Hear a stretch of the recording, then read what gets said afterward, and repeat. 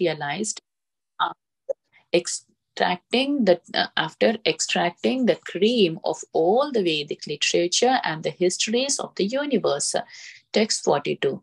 Sukadeva Goswami, the son of Vyasadeva, he, in his turn delivered the Bhagavatam to the great emperors Parikshit, who sat surrendered, who sat surrendered by sages on the bank of the Ganges, um, awaiting death without taking food or drink.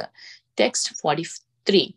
This Sri, this Bhagavata Purana is a brilliant of as the sun, and it has arisen just after the departure of Lord Krishna to his own abode accompanied by religion, knowledge, etc., persons who have lost their vision due to the dense darkness of ignorance in the age of Kali shall get light from the from this Purana.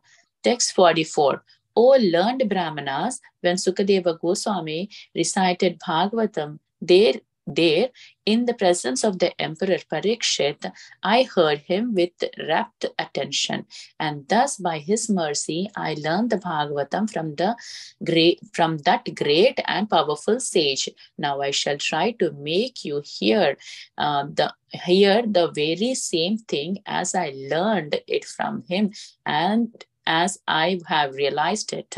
Thus ends the Bhakti Vedanta purport of Srimad Bhagavatam, first canto, third chapter. Krishna is the source of all incarnations. Thank you, Prabhuji. Hare Krishna. Thank you, Mataji. Thank you, Swamini Mataji. Thank you, Radharani Mataji. Sorry, I forgot to start recording from the beginning. Uh, thanks, uh, Rasal Krishna Prabhu, for uh, reminding me. Uh, so now we started recording. ఓం అజ్ఞానతిమిరాంధస్య జ్ఞానాంజనశలాఖ్య చక్షురున్మిళితం యేన తస్మై శ్రీగురవే నమ నమో విష్ణుపాదాయ కృష్ణప్రేష్టాయ భూతలే శ్రీమతే భక్తి వేదాంత స్వామితి నామని నమస్తే సారస్వతి దేవి గౌరవాణి ప్రచారిణే నిర్విశేష శూన్యవాది పశ్చాత్తదిశతారిణి జాయ శ్రీకృష్ణ చైతన్య ప్రభు నిత్యానంద శ్రీ అద్వైత Gadadhara శ్రీవాసాది గౌరభక్తరుంద Hare Krishna Hare Krishna Krishna Krishna Hare Hare Hare Rama, Hare Rama, Rama Rama, Hare Hare. Thank you all for joining uh, for today's uh, session. Um, so today we are reading from Srimad Bhagavatam, uh, Canto 1, uh, Chapter 3, slokas from 23 to 44. That's end of the chapter. Um, so in the first chapter, you all probably heard that the sages uh, assembled in Naimisaranya, uh, headed by Saunaka Mahamuni. So they requested uh, Suta Goswami to narrate the Supreme Lord Krishna's and his uh, various incarnations, uh, pastimes. So in this chapter, we see that uh, Suta Goswami is giving a, uh, a brief overview of some of the Krishna's incarnations. So that's why it's a very uh, uh, wonderful and uh, relishing chapter. So in the last session, uh, so you all heard uh, that the summary of the slokas from 1 to 1, one uh, slokas 1 to 22 of this chapter. So which talked about several incarnation of Krishna, like Varaha, uh, Narada Muni, Naranarayana, Kapila, and then Narasimha, Vamana, Parasuram, and Lord Ramachandra. So in this chapter, uh, we will see the rest of the slokas. so uh, sloka 23, so we see that uh, Suta Goswami is mentioning that uh, Krishna's uh, incarnations, the 19th and 20th incarnations uh, are Krishna himself is uh, appear uh, along with uh, Lord Balaram. so uh, what is the purpose of uh, this incarnation? So it's mentioned that uh, to remove the burden of the world. So to remove the burden of the Mother Earth.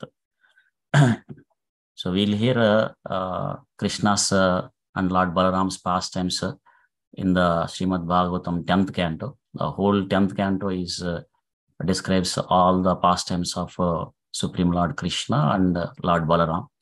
So how they have performed uh, wonderful pastimes uh, in Vrindavana and then Madura and Dwaraka like that. So it's a uh, beautiful canto where you all can relish that. So when that canto summary time comes, then you all can listen that. So I'm not going through that uh, uh, all the past tense because it's a very uh, the full canto is dedicated for that. and Krishna performed many wonderful pastimes. So that's why he is known as Leela Purushottama. So unlimited pastimes. So in the next sloka, Suta Goswami is mentioning about uh, Krishna's uh, another incarnation, Lord Buddha. and here we see that he is the son of Anjana. So Anjana means uh, uh, the daughter of the King Anjana. So like uh, how we, uh, the Krishna's another name is Vasudeva, like son of Vasudeva. So similarly, um, Lord Buddha's mother name is uh, Maya. So she is the daughter of uh, King Anjana. And we see here that, you know, uh, Lord Buddha appears, appeared in the provenance of Gaya. and Prabhupada mentions in the uh, last paragraph of the purport, like, you know, we see that Srimad Bhagavatam is compiled uh, almost 5000 years ago. Um, but uh, Lord Buddha appeared um, 2600 years ago. so therefore, uh, Prabhupada mentions that uh, in Srimad Bhagavatam, Lord Buddha is foretold. So that Buddha will come uh, in the Kali Yuga, in the beginning of the Kali Yuga. So and that happened. So that is the authority of the uh, scriptures. And Prabhupada mentions that uh, because these scriptures are given by the Supreme Lord are the and, and uh, uh, compiled by the liberated personalities. So they are without any trace of uh, mistake, illusion, cheating, or imperfection. So these are the four flaws that generally the conditioned uh, souls uh, has in this material world. But uh, these scriptures are compiled by the personalities who doesn't have these flaws and given by the Supreme Lord. So that's why it's uh, perfect. and we see here that you know Lord Buddha so is mentioned where he is appeared, who is his father and who is his mother, like that. And the purpose is uh, to delude those who are envious of the faithful thieves.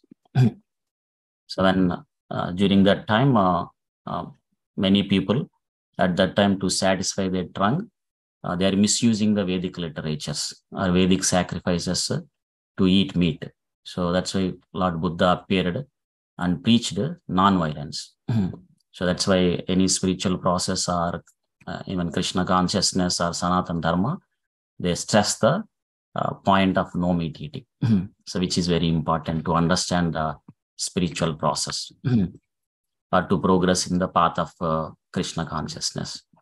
So then Suta Goswami mentions about uh, another incarnation of Lord Krishna as Kalki and uh, is the son of Vishnuyasa.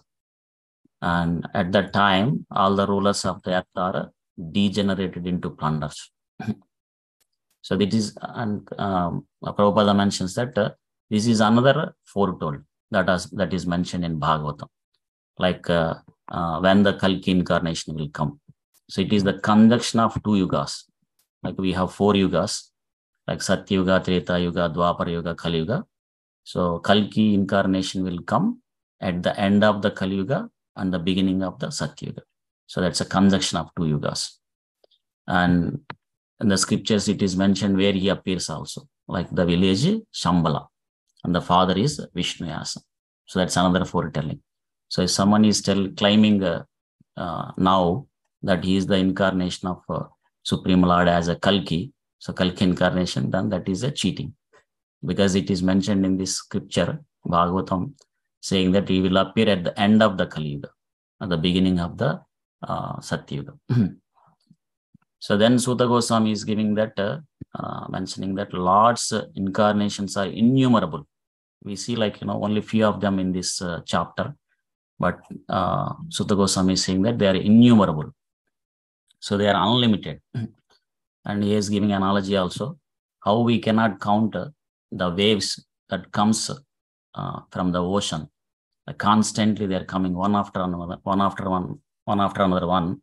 So similarly, so Krishna's incarnations also come one after one, one after another, one after another, like that. So we cannot count. So they are unlimited. and even Lord Brahma says that, you know, Ramadi Murteshu Kalani Mentastan, Nana Avataram. So there are so many avatars. And Acharyas explains, like, you know, they are all categorized into multiple groups. Like we have Purusha avatars, which were described earlier. Uh, Karunadaksai Vishnu, Garbhodaksai Vishnu, and Kshirodaksai Vishnu. They are called Purusha avatars. And we have Guna avatars, Leela avatars, Manvantara avatars, and Yuga avatars, and Shakti avatars. So all these unlimited incarnations are grouped into various uh, uh, types.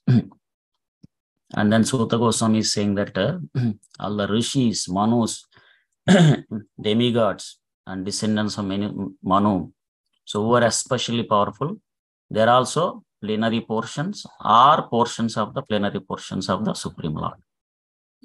and Prabhupada mentions in uh, his purport that, you know, so the personalities uh, who are less powerful, they're called as Vibhuti, two categories. And who are more powerful, they are called, they are called Avesha avatars, Shakti Avesha avatars. Like uh, Prithu or Parashuram or uh, four Kumaras, uh, Narada Muni. So they're all Shakti Avesha and then Suta Goswami mentions here that uh, uh, all of the above mentioned incarnations uh, are either plenary portions or portions of the plenary portions. But Krishna is the original personality of Godhead. Because Krishna is mentioned in this list of uh, various incarnations. So Suta Goswami is uh, uh, stressing that uh, Krishna is not avatar, like he is avatari. So he is the source of all the incarnations. So he is the original supreme personality of Godhead. so he's stressing on that. And he's also saying uh, why Krishna comes uh, time to time. So, so Lord incarn- incarnates to protect thieves. so whenever there is a disturbance created by the atheists, then the Lord comes and protects the thieves. In Bhagavad Gita also Krishna mentions him, right? So paritranaya sadhuna vinashaya cha dushkritanam dharma samsthapanardaya sambhavami yuge yuge. So whenever there is a decline in uh, dharma, so that time Krishna comes uh, and annihilates the demons and protects the devotees and then re-establish the dharma. so he comes again and again. But in all the incarnations, uh, Krishna is the supreme personality of Godhead and he is the original personality of Godhead. And Lord Brahma also mentions in his prayers that, you know, Govindam Adi Purusham Tamaham Bhaja, saying that Govinda, Supreme Lord Krishna, is the Adi Purusham, is the original personality of Godhead. and he mentions the, that uh, all the incarnations that are coming, so they are coming from him, like uh, how he also gives analogy like Deeparchayevahi Dashantaram Abhyupetya, like how the one candle light will lit the many other candle lights. So similarly, still the uh, the first candle light will uh, be mentioned as the original candle light that lit the other candles. So similarly, uh, Krishna is the supreme person of Godhead, the original, and from him all the various incarnation comes.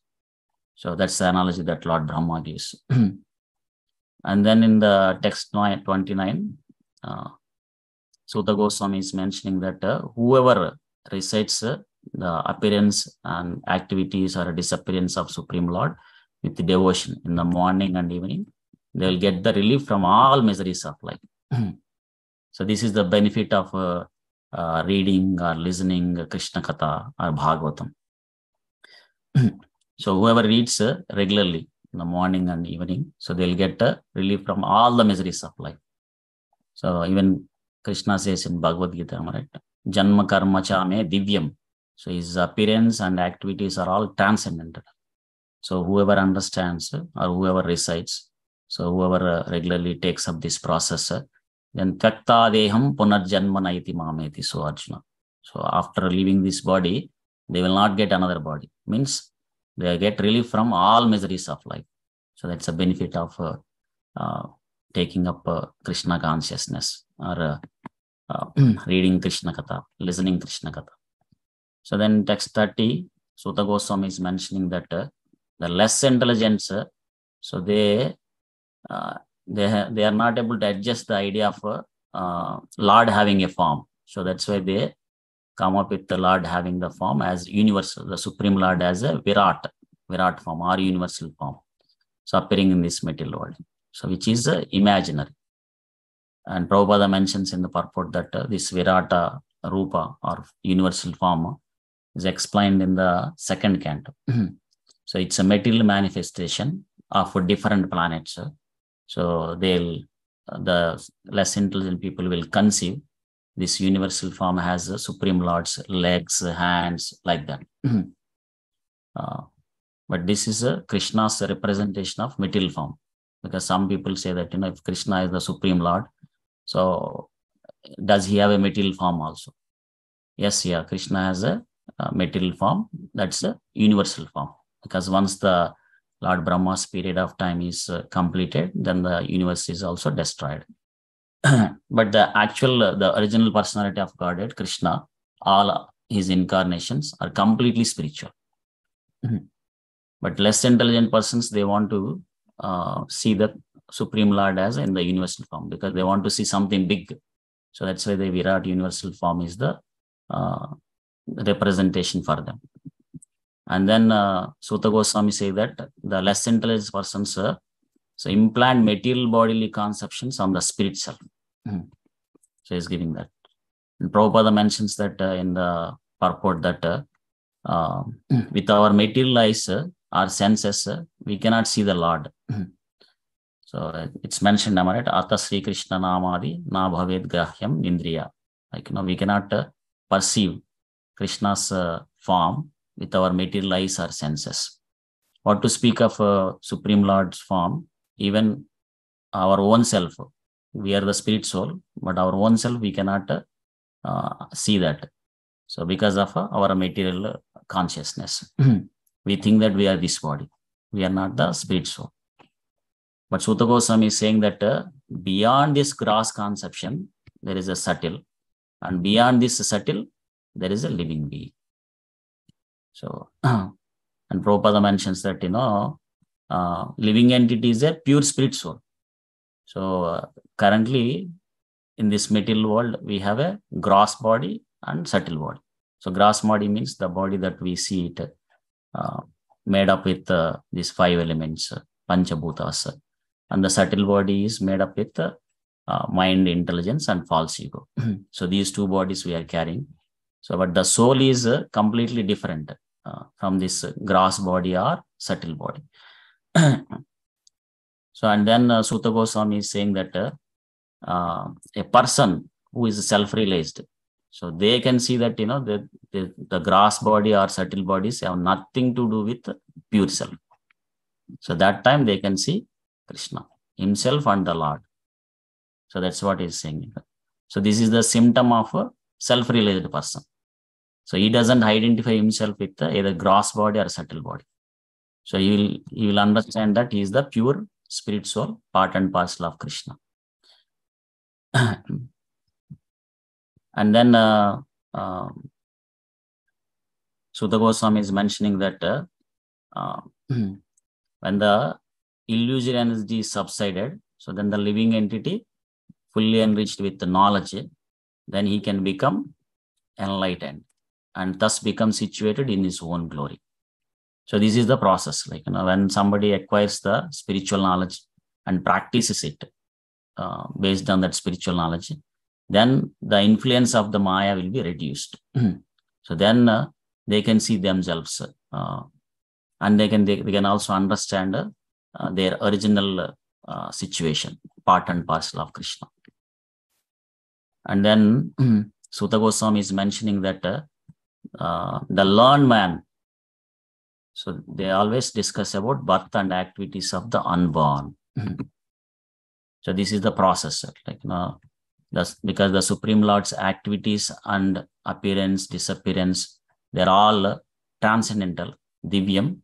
So Prabhupada mentions that uh, the great sages, uh, they always uh, discuss about this, try to understand of Krishna's uh, appearance, disappearance, and all his activities uh, for the purpose of self-realizations. So once they one gets one uh, comes into the self-realization status, then they can see themselves and they can also see the Supreme Lord.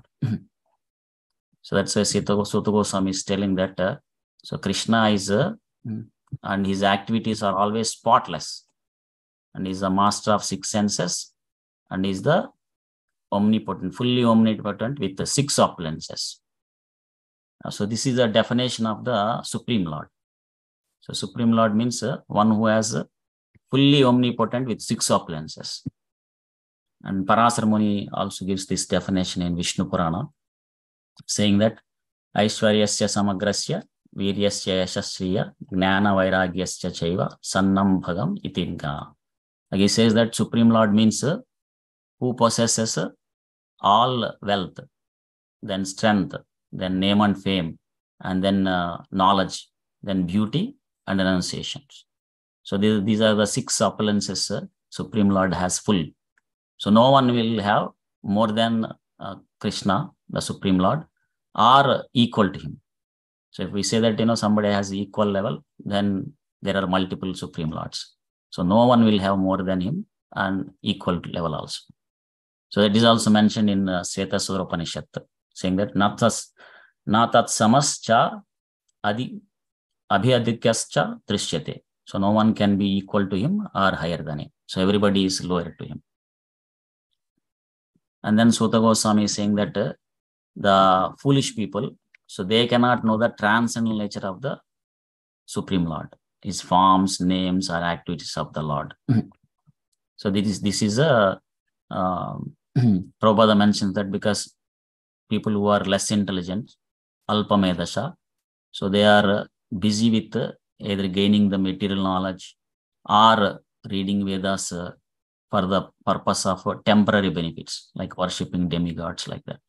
So that's why they cannot understand the transcendental nature of the forms, names of uh, Krishna, the Supreme Lord. Then who can understand? He says that only who rendered unreserved, uninterrupted, favorable service, Anukulyena Krishna Anusila. So they can be able to understand the Krishna in full glory, full glory, power, and transcendence. So this is the criteria. So Krishna says that, you know, Bhaktyamam Abhijanate. So who can understand? Only my devotees can understand as he is. so how we can start uh, to understand Krishna? So what is the steps? Then it says that, you know, Sevan Moki Juhadu Swayam Eva Spurate Adaha. So the step is uh, using our tongue in the service of Krishna, like chanting Hare Krishna Maha Mantra. Of course, today is uh, Pandava Nirjala Ekadasi. It's a very auspicious, beneficious. So we can utilize that and chant more uh, number of uh, rounds of Hare Krishna Maha Mantra. So that is how we have to start uh, using our tongue in the service of Krishna, chanting Hare Krishna Maha Mantra or uh, reading the scriptures and taking Krishna Prasadam. So that way we get slowly get purified. And then gradually we'll be able to understand Krishna as he is. So that's why uh, um, Suta Goswami is appreciating here uh, all the sages of the assembled, uh, sages assembled in the Naimisaranyam for inquiring Krishna's pastimes or his incarnation pastimes. So he's saying that uh, these such inquiries will make one be successful. Not only successful, it will also guarantee, it will give guarantee, cent percent, saying that 100%. So immunity from the re repetition of birth and death. So this is the success formula. So one wants to be success uh, in this human life. Uh, so this is the formula. Okay, saying that uh, so that we have to inquire about uh, Krishna and his various incarnations, pastimes, appearance and disappearance. so that way we can avoid the repetition of birth and death, the cycle of birth, death, old age, diseases. So these are the basic miseries. So Janma Mrityu Jara Vyadi Dukkha Dosha Anudarshanam. That's what Krishna says us. So to escape from that, so this is what the, we have to do. and Sutta Goswami is saying that uh, so Sri, this Srimad Bhagavatam is a literary incarnation compiled by Srila Vyasudeva. And this will give ultimate good for all the people. And all successful, all blissful, and all perfect. And Prabhupada also mentions in Bhagavatam that uh, in, in the purport that uh, So Lord Sri Krishna and this Bhagavatam, Srimad Bhagavatam is non-different. So whatever the benefit uh, one can achieve associating with Krishna in person, so the same benefit can be achieved in associating with uh, this book Bhagavatam, so Srimad Bhagavatam. So, uh, and this was compiled by Srila Vyasadev in his mature state, so in mature age. So that's why it's called Mahapurana, Amala Purana, Mahapurana. So that's why uh, here Suta Goswami is recommending everyone to read Bhagavatam. So if somebody doesn't have a copy, so he's Suta Goswami is stressing here to get a copy and read regularly. And then uh, Suta Goswami is saying here, uh, so this Bhagavatam, Srila Vyasadev, who compiled it, he gave it to his son. Who is son? Son is Sukadev Goswami. So he is a self-realized. And this Bhagavatam is a cream of all Vedic literature. So uh, that's why it's called Amala Puranam or Mahapuranam. and Prabhupada mentions that uh, all the stories mentioned in this Bhagavatam are not some something time pass stories. They're all actual histories that are happened. So in this universe. So all of them may not have happened in this Earth planet, but it happened in this universe. And because there are many planets in this universe, so all these pastimes have happened in one of these planets. so various planets. So one pastime happened in one one planet like that. So, but they are all histories. They are all uh, uh, true. So not some imaginary stories like that. And then Suta Goswami saying that Sukadeva Goswami um, in turn delivered this Bhagavatam to Emperor Parikshit. So this this is how the uh, Bhagavatam uh, is uh, given in the success of uh, parampara in the disciplic succession. So unbroken disciplic succession, which is called parampara. So it has the, uh, this uh, uh, knowledge is coming from Krishna to Lord Brahma, Lord Brahma to Narada Muni, and Narada Muni gave it to Vyasadeva, and Vyasadeva gave it to Sukadeva Goswami. And we see here Sukadeva Swami is giving uh, to the Parikshit, Emperor Parikshit. and then uh, um, Suta Goswami is mentioning that here this Bhagavatam is uh, brilliant as the sun. And what can it help? So it can help uh, the persons who have lost their vision to the dense of darkness, ignorance in the age of Kali. So they get can they can get the light from this Purana. So in this in this Kali Yuga, people have lost their vision uh, due to the dense of uh, darkness, darkness of ignorance. So everybody is uh, lost their vision uh, because everybody in this Kali Yuga, most of them, they're uh, mostly indulged in uh, uh, ahara like eating, sleeping, meeting, and defending.